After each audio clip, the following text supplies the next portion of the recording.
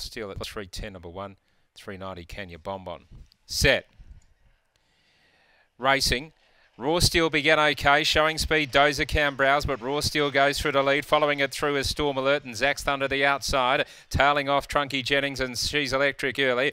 Getting to about fourth places is Euro, and then five lengths away Dozer Cam Browse, followed by Kenya uh, Bonbon, who can't win. Long gap Trunky Jennings and She's Electric to the turn. Raw Steel's in front, just looks to be holding them. Running on Azuro the inside from Storm Alert. Now they've got the leader, and Storm Alert hit the front from Azuro and Raw Steel and Storm Alert.